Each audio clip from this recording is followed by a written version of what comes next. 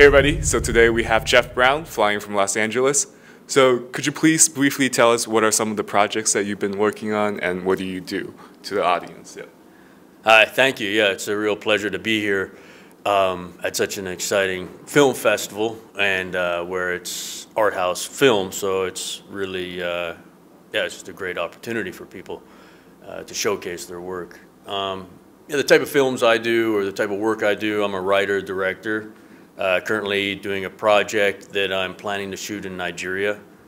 Story based around the Nigerian email scams, told from the perspective of a Nigerian kid growing up in the Delta. He joins a gang of uh, email conmen to make some money to move his family out of the Delta and into Port Harcourt. And so I do a lot of things that are um, around the world. I like different cultures, different people, and so that's that's really my focus. Okay, that's, that's amazing. So um, for the next couple of days, as a judge, what, what are some of the things that you're looking forward to to this film festival? Yeah, so as a judge, uh, the thing I love about these type of film festivals, or this one specifically too, is because it's a non-commercial film festival, so the budgets are usually a little bit limited, so the stories often um, focus more on the individual, the character, them having to overcome obstacles which are usually very heavily internal obstacles. And you know they have to be become better or come over those challenges. So it's a very human uh, humanistic way of, of making film. So it's it's just really great. And I love that all you know I think they had uh, 1,800 um, entries from around the world. So I just love watching different filmmakers from around the world doing whatever they can do to put a film together, which, as we know, is one of the hardest things to do. Mm-hmm. And then you get to see their culture and their people, and um, I just love seeing the different locations. But as a judge, I look for story and look for character and see what the obstacles are. Mm-hmm. I look for dialogue is very important, commercial or not commercial. Mm-hmm. When characters talk on the nose exactly what the scene is about mm-hmm. is a weakness in the script so dialogue is very important to try and um, see how they use subtexts. And I know in each culture people talk sort of in different ways, but dialogue is an important thing for me. Good dialogue. Mm -hmm.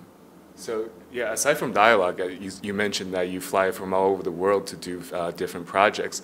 What are some of the other things that you do uh, when you when you film projects in different countries? What are some of the things that you're looking for, the cultural differences, and, and things like that?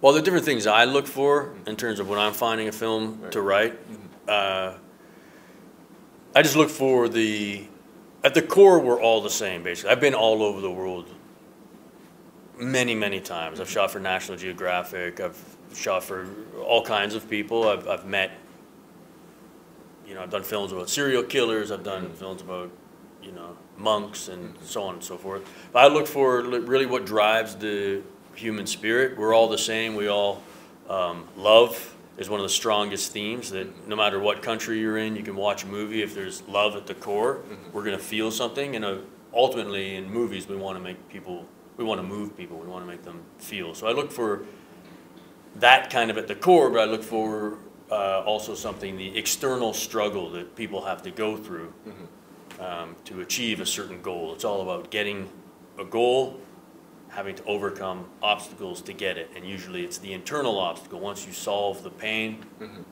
the character, uh, the inner pain, then you're able to achieve the goal of the A plot. So I just look at, at stuff like that, unique things mm-hmm. that we don't, in the West anyway, see. So I like telling it from a different perspective. Mm-hmm.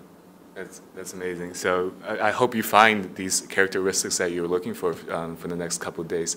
Um, for the next few days, what are is there anything in particular that you're looking for? Is this your first time in Maryland or? This is my first time in Maryland. It's really uh, exciting. So I love going to a new place. Always love going to new places.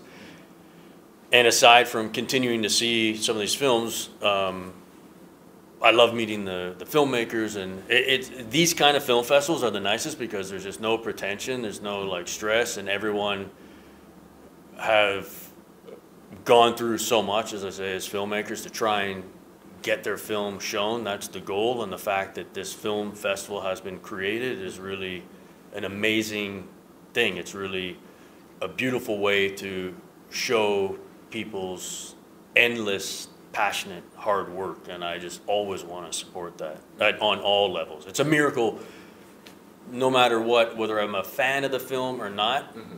It's hats off to anybody who can get a film done. Mm-hmm. Yeah, I, I definitely noticed a lot of that from the from the directors that we interviewed before. So I hope you enjoy the next couple of days and welcome to Maryland. Thank you very much. Thank you. Thank you.